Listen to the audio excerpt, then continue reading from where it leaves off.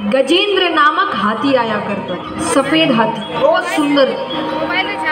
और इतना शक्तिशाली कि उसकी सुगंध से, सामने आना तो दूर की बात, सुगंध भी आ जाए, शेर डर के भाग जाए इतना शक्तिशाली। वो अपने परिवार के साथ क्रीड़ा करने आता है। कभी वो सून में पानी भर के बच्चों पे फेंके, बच्चे नाचने लग जाए। पत्नी पे फेंके, पत्नी शर्मा जाए। तो इनका पारिवारिक कार्यक्रम चल रहा है। इसी बीच पानी में एक ग्राह आता है। ग्राह यानी मगरमच्छ।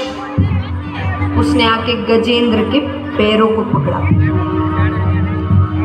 अब गजेंद्र कहे, मैं इतना शक्तिशाली, ये मेरा क्या बिगाड़ लेगा? देखिए हर कथा एक सीख लेकर आती है हर कथा। गजेंद्र यानी हम और आप।